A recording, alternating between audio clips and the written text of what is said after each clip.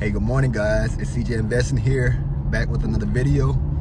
And today I'm just talking about what's been going on, what I'm doing in the market right now, my thoughts and things like that. So the market, the market has been,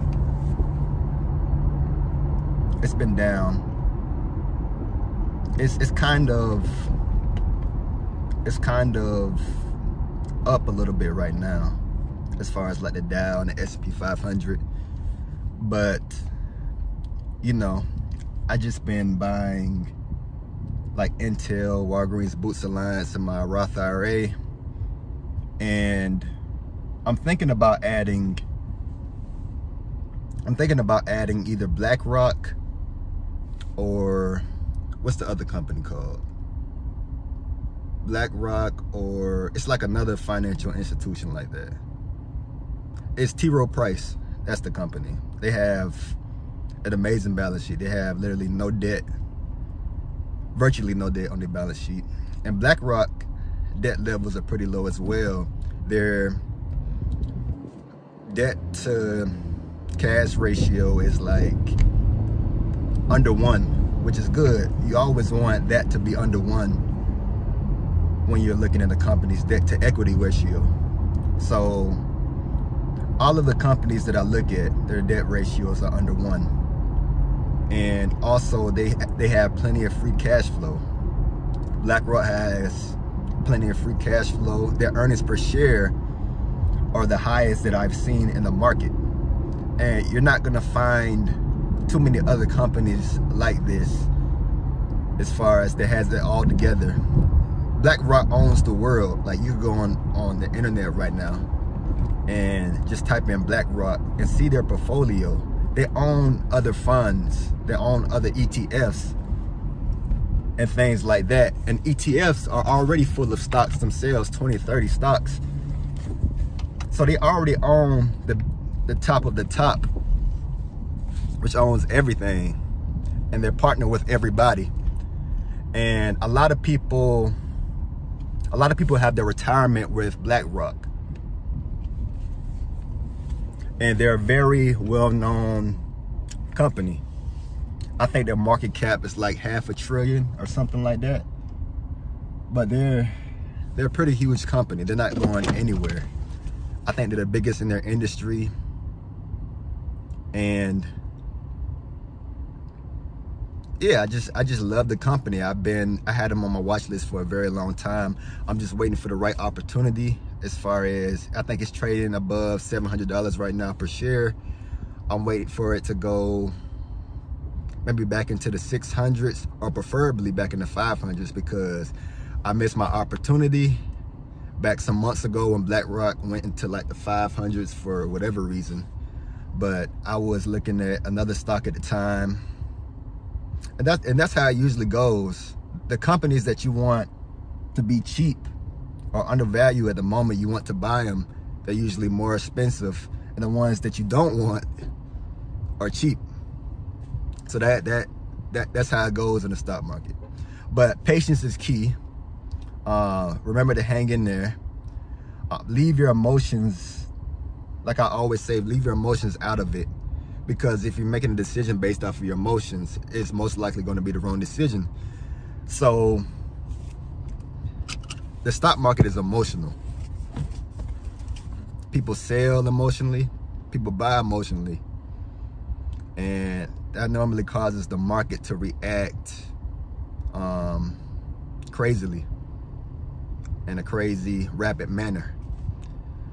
So remember to always do your due diligence and think your decisions through before you go out and buy them or buy a company or a stock. But so yeah, I'm thinking about buying BlackRock or T. Rowe Price as well as JP and Morgan. That's a that's a very huge bank. And they're backed by the government. So yeah, they're not going nowhere. And a lot of these a lot of the people as far as higher up on the ladder own these companies in their portfolio or through their retirement. So they're not they're not really gonna let them fail because they have equity tied up into the companies. So these these are quote unquote safe companies. JP Morgan and Chase, BlackRock, um, companies like Apple, Microsoft, um, Amazon, Google. You already know Google. Google has one of the top balance sheets in the entire industry. They have plenty of cash. They own YouTube.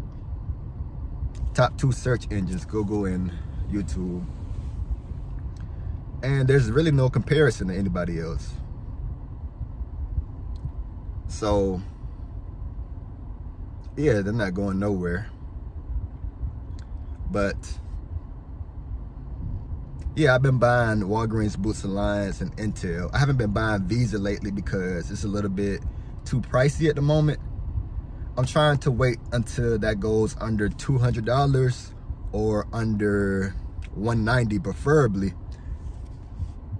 because that's just what I came up with as far as the price that I want to buy it at.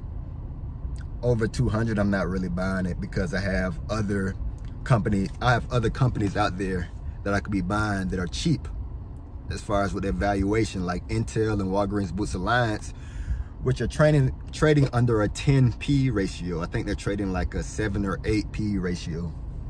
So those are really undervalued stocks that I think y'all need to take a look into. If not, be buying after you do your research, of course. But yeah, those are great, great companies. Intel is gonna come back. Um, it's been around for forever. They had some headwinds in the recent years, but like I said before, they're under or around the price that they were, what, 10, 15 years ago, which is astounding because they had they have made so much growth since then. And just about every company has. Think about it. Like, which company do you know is not going to grow in 15, 20 years? I mean, that's inconceivable. I mean, companies companies may not grow every year, but they're to grow if their financials are in, intact and they have the right leadership. They're to grow. So either they're to grow or go bankrupt. And that's going, for them to go bankrupt, that's very unlikely. As long as you do a, some kind of research, even if it's a little bit of research, it's going to work out for you. As long as you just, just hold your emotions. The emotional part is the most important aspect of investing because that's that's what causes people to lose money in the short term, making those short term decisions. So that's even more important, I would say, than the research part. It's important to do research as well. I don't want to tell you that it's not, because it is, but the emotional part, it's going to cause you to make the wrong decision. So be aware of that. I want to say I appreciate y'all for always tuning in, showing support, watching the videos. I'm going to continue to try to upload and things like that. I love y'all and I see y'all soon. All right, peace. Remember to like, comment, subscribe.